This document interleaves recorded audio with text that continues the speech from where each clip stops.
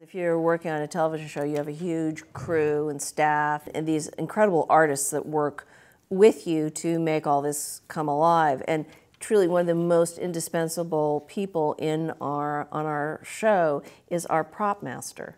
Our prop master is named Jeff Johnson, who's a genius. And when we knew, because the, the, science of it wasn't confused, an EKG is a machine that everyone's familiar with, so we didn't need to have someone come and explain that to us. We know that how it's how it's applied and what it does.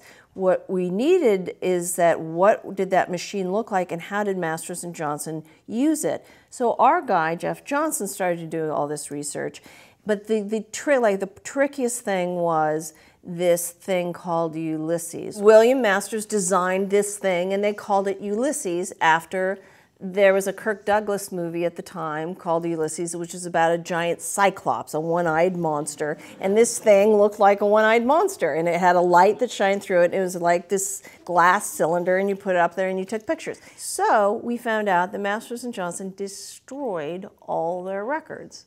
So there is no picture of this thing anywhere. There's descriptions of it, and they know that they used it but there's no, so we have to go to a prop guy and say, all right, now you have to make a glass phallus with a camera attached to it. And he was like, yes, I'm so excited. I this is the best job he's ever had.